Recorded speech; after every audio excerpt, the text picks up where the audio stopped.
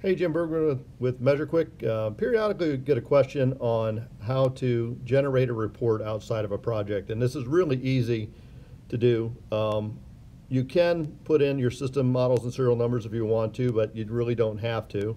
Uh, the key things, put in your system information. So we'll put in the nominal tonnage, refrigerant type, uh, nominal airflows, you know, those types of things, target superheater, subcooling.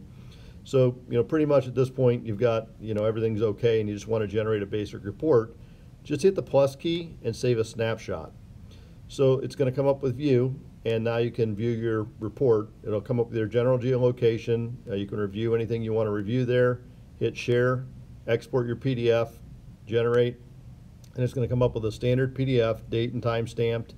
Um, you won't get filter face velocity because you haven't put in a filter size, and obviously no customer equipment information, but it is a, a record of your readings.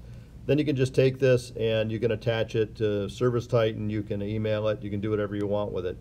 But this does not save any data in the cloud. There's no project. It's just a local uh, quick snapshot. So if you want to, you know, typically this is used when you want to share this with uh, maybe an OEM or distributor or somebody just to get an idea what your readings are uh, without having to gather uh, all the data that we would want to use for a future report.